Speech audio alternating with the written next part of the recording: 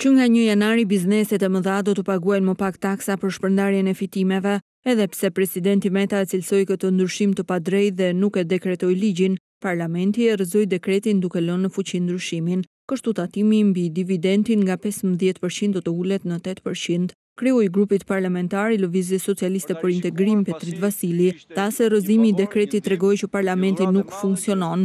Sipas Vasilit, shqyrtimi i këtij ligji nuk ka zbatuar afatet që parashikohen në Kushtetutë. Në mënyrën më banditeske, Komisioni i Ekonomisë, në orën shtatë e gjysmë të darkës, ka shqyrtuar dekretin e presidentit, i cili kthente mbrapsht uljen e normës së tatimit mbi të ardhurat për oligarkët, pra nga 15 në 8%, për ta rishikuar pasi ky ishte një favor, një ndihmë, një dhuratë e madhe që argatët e parlamentit u bënin oligarkëve.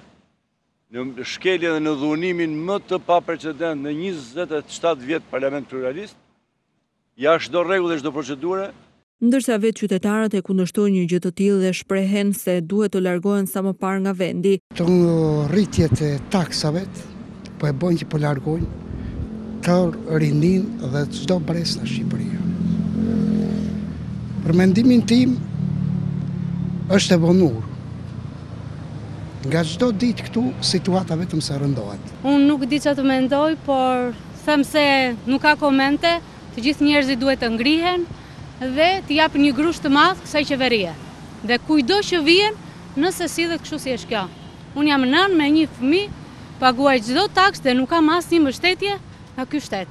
Kohët e fundit parlamenti ka rrëzuar një sërë dekretesh të presidentit Ilir Meta, Pavarësisht arsyetimeve të dhëna, disa nga dekretet më të diskutuara janë tatimi për lojërat e fatit, buxheti dy mijë e nëntëmbëdhjetë i cili rrëzohet për herë të parë pas njëzet e shtatë viteve demokraci, si dhe së fundmi ligji për tatimin mbi të ardhurat.